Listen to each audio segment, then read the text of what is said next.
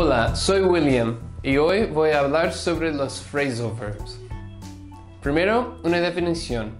Un phrasal verb es la combinación de un verbo más una preposición. La presencia de la preposición cambia totalmente el significado de la frase verbal. Por ejemplo, Today I woke up at 8 a.m.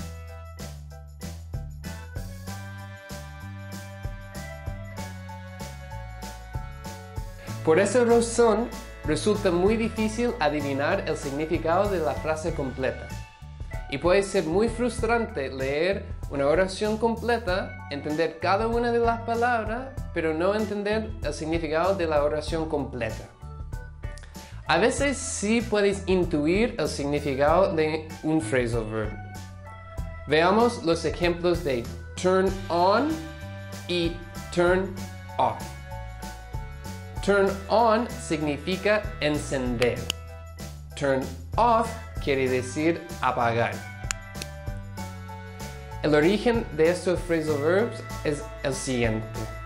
En la época de los primeros aparatos electrónicos, literalmente teníamos que girar hasta la posición de on para encender y girar otra vez hasta la posición de off para apagar.